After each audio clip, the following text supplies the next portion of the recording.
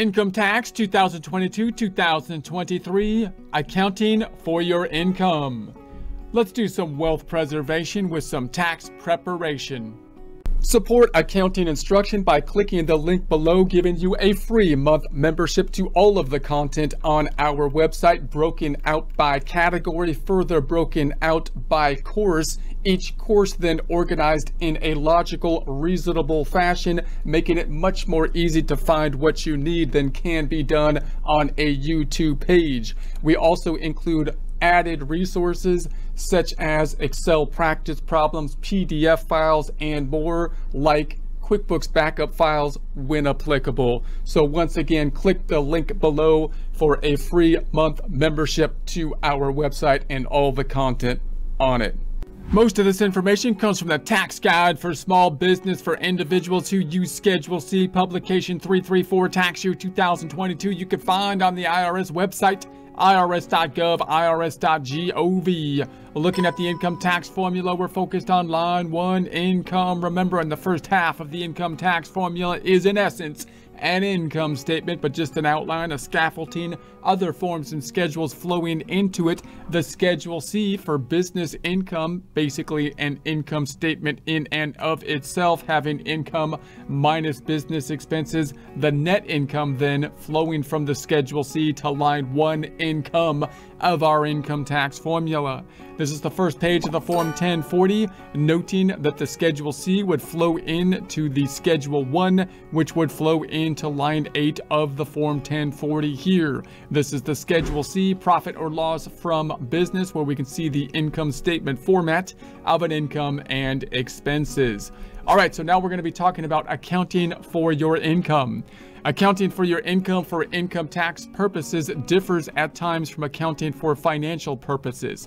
So note, when we think about the bookkeeping, the general accounting process, what we're trying to do is compile past financial transactions. Financial transaction benefits you today. Ooh. In such a way that it makes sense for whatever purpose we're using it for, generally that being decision making purposes for us as managers and possibly providing it to external users, investors possibly, to make investment decisions. But here we're compiling basically that same financial information, balance sheet, income statement, primarily focused on the income statement here, because it's an income tax in order to do the taxes. So that means that when we think about the accounting methods that we're using, we usually think of an accrual method versus a cashed method, and we often think from a bookkeeping standpoint about regulations on businesses that are usually regulating, forcing businesses that are large corporations to use most of the time an accrual based method and using generally accepted accounting standards.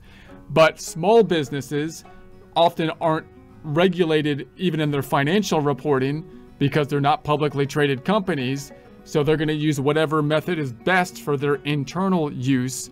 And then they basically have to do their taxes. And the taxes are going to be regulated by the tax code. So now we've got to make sure that we're in compliance. We might have to make some tweaks between what we do on a bookkeeping standpoint to what is done basically on a tax code standpoint.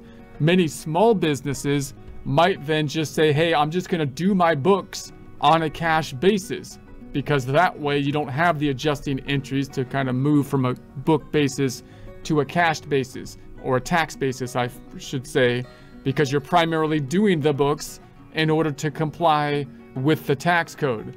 Now note that the tax code is not the primary or best way to account for things because the tax code has all kind of rules that aren't designed for optimizing decision makings from from a from a business standpoint. For example, the capitalization rules and the 179 depreciation, early depreciation, special depreciation, those are really distorting the, the concepts of normal accounting.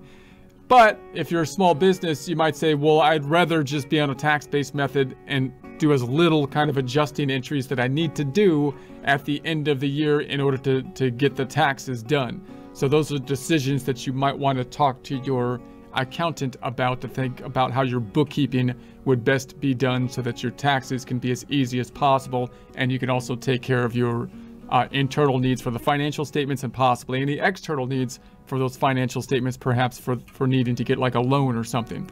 Okay, so this section discusses some of the more common differences that may affect business transactions. So figure your business income on the basis of tax year and account and and account Uh, and according to your regular method of accounting, which we talked about before, cash method or an accrual method, so, or some kind of modification or combination of those methods. So if the sale of a product is an income producing factor in your business, you usually have to use inventories to clearly show your income.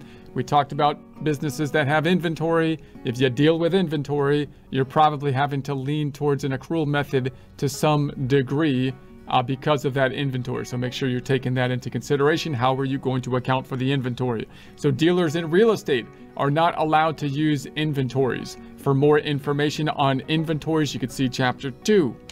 Income paid to third party. So all income you earn is taxable to you. You cannot avoid tax by having the income paid to a third party. So we talked about, I believe, a little bit of that before when we thought about revenue recognition concepts.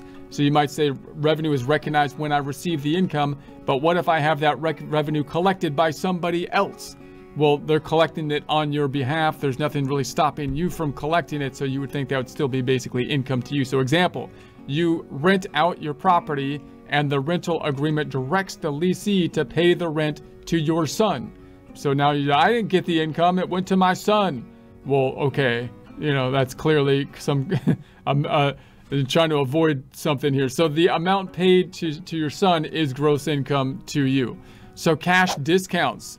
So these are amounts the seller permits you to deduct from the invoice price for prompt payment.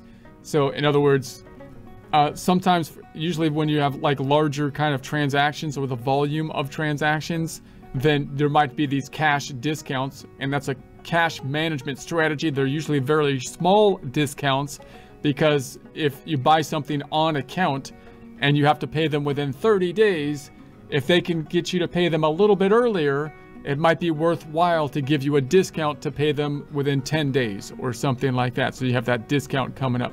So the income tax for income tax purposes, you can use either the following two methods to account for cash discounts. Number one, deduct the cash discount from purchase. See line 36 purchases. See uh, less cost of items withdrawn, personal use in chapter six, cost of goods sold calculation. Two, credit the cash discount to a discount income account. So in other words, you know, when you're if if you're uh, going to take the discount, you've got to determine are you going to are you you know locked into taking the discount or are you going to record it without the discount? In a discount. And then account for the fact that you then got the discount when the discount is is coming into play.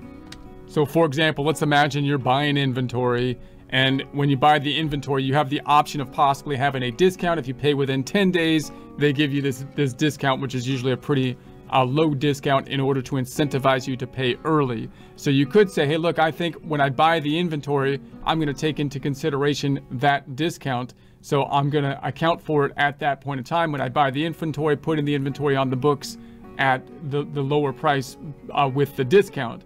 Or you could put, put it on the books at the higher price that that uh, does not include the discount. And then if you do pay them within 10 days, you're like, oh, I, am able to pay them earlier within the discount period. Well, now you've got this discount, which you could uh, credit the cash discount to a discount income account. So those are kind of the methods that that could you could use. You must use the chosen method every year for all of your purchase discounts. So once again, they want consistency with the method like normal. Uh, if you use the second method, the credit balance in the account at the end of your tax year in business income. Under this method, you do not reduce the cost of goods sold by the cash discount you received because you're putting it in income instead of basically uh, reducing the cost of goods sold account. Notice it's the same net effect in essence because it's income statement, it's income minus expenses. Are you going to be adjusting the cost of goods sold or are you going to be recording it as an increase in income, decreased cost of goods sold, or increase in income.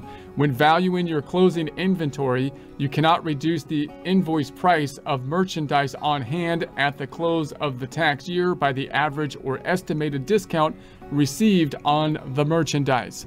Trade discounts. So these are reductions uh, from list or catalog prices and are usually not written into the invoice or charged to the customer. So do you enter these discounts on your books of account instead? I'm sorry, do not enter these discounts on your books of account. Instead, use only the net amount as the cost of the merchandise purchased. For more information there, you can see trade discounts in chapter 6. Payment placed in escrow. So if the buyer of your property places part or all of the purchase price in escrow, you do not include any part of it in gross sales until you actually constructively receive it. So you might be familiar with an escrow kind of situation with real estate uh, type of transactions. You can have a similar concept basically with other transactions. The escrow is kind of that intermediary period where the deal is not completely finalized. You've had you've got the third party that is is holding on to the holding on to the assets in that case. So you haven't really claimed them at that point in time because they haven't cleared through escrow. You haven't finalized the transaction yet. So you would think that it wouldn't be. so then the question is, if it's income to you on this transaction, you would think that you wouldn't have to record the income until it it's out of escrow because that's when you would actually have claim to it. However, upon completion of the terms of the contract and the escrow agreement, you will have taxable income even if you do not accept the money until the next year. So after the escrow is completed, even if you say, don't give me the money, right, because I don't want to record it this year, I want to record it next year. Well, you can't do that because now you have constructive receipt to it as we talked about in the income recognition. That would be like saying, someone wants to pay you and you tell them, no, don't pay me until next year. Well, you have complete ability to get the money now. Uh, so, so you can't really, you can't just say, well, I just don't want you to give me the money. You already have constructive receipt of the money after it's done with the escrow. So that would be income, you would think. Sales returns and allowances. Uh, uh, credits you allow customers for return merchandise and any other allowances you make on sales are deductions from gross sales in figuring net income.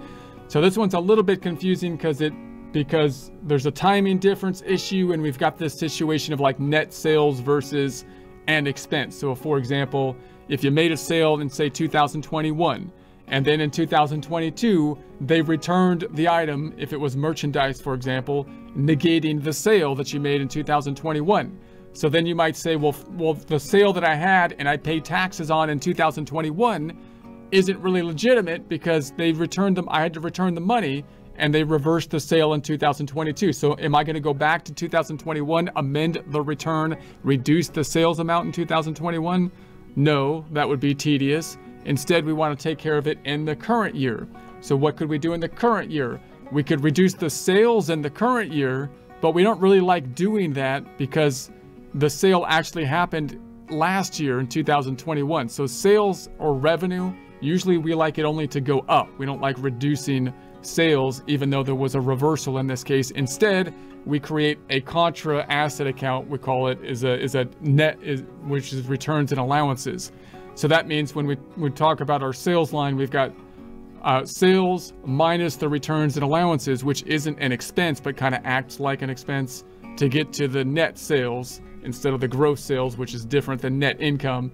And then we have the expenses. It's similar to having like a bad debt situation. If it was a where if you just think someone's not going to pay you, we would record it as an expense of bad debt instead of reversing sales, right? If it's inventory, oftentimes we put it in net sales, which is a contra sales account. Okay, advance payments. Special rules dealing with an accrual method of accounting for payments received in advance are discussed in Chapter 2 under accrual method. So note that if you are on an accrual method, you're not going to record revenue until you get uh, you get paid uh, generally, right? So, I mean, I'm sorry, on an accrual method, you're going to record revenue when you do the work. And typically you do the work at the same point in time or you do the work before you get paid. If you're a bookkeeper, you might do the work before, bill the client, and then get paid. If you're a restaurant, you probably do the work at the same point in time that you get paid. But you could have situations where they give you money in advance. If they give you money in advance in an accrual method, you wouldn't record the revenue until you earn the money. So if they give you an advance payment as a lawyer to do work in the future, then when you do the work under an accrual method, that's when you would record the revenue, not when you got the money before doing the work. But that's like an exception for the IRS because they're going to say, you've got the money, you've committed to doing the work, we want our piece of it. So you want to you want to think about those advanced payments for taxes. Do you have to include them in income, even if using an accrual method at the point in time you've received them? Insurance proceeds. If you receive insurance or another type of reimbursement for a casualty or theft loss, you must subtract it from the loss when you figure your deduction. You cannot deduct the reimbursed part of a casualty or theft loss. In other words, if you get insurance proceeds, the proceeds should be should be compensating you for for a casualty typically uh, for the insurance. So you can't you can't deduct the reimbursed part of the casualty or theft loss because you don't really have a theft loss in that case. You would be netting it out you know, you can you can imagine this happening in a couple different ways, right? You had a loss of property, uh, and and then the insurance is covering it. So you can imagine you you put the loss on the books as a loss, like an expense or something like that, and then when you got the insurance proceeds, you put them on there as income. Income minus expenses nets out. Or more likely, you're going to say the insurance proceeds aren't really income. What they're do is is they're they're they're they're putting you back to where you should be given this weird, this unusual event. So that would mean that you wouldn't record either the expense or the insurance proceeds because they net out against each other, right? Because you didn't really, you're not going to write off a loss if you've got reimbursed for the loss for the insurance proceeds, which in theory are bringing you back to whole. So for more information on casualty or theft losses, you can see publication 547.